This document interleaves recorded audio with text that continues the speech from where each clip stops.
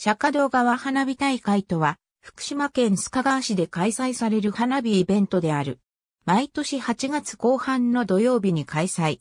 全国の花火師たちが技術を競う、尺玉の共演が行われることから、バラエティに富んだ珍しい花火が見られるのが特徴。打ち上げられる花火は約1万発。打ち上げられる最大の花火は15号玉。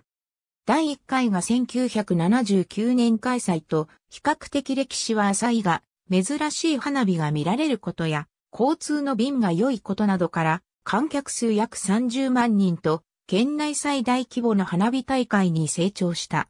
福島 FM による実況中継が行われる年もある。有料観覧席は CN プレイガイドにてウェブ販売を実施。また、電話での予約も可能。詳しくは公式サイト参照。JR 東北本線須賀川駅下車。徒歩10分。当日は臨時列車が多数運転される。周辺に約4000台もの駐車場があるが、すぐ満車になるため電車の利用が推奨されている。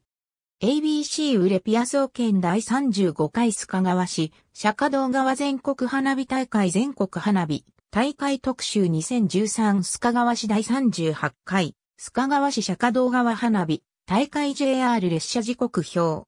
ありがとうございます。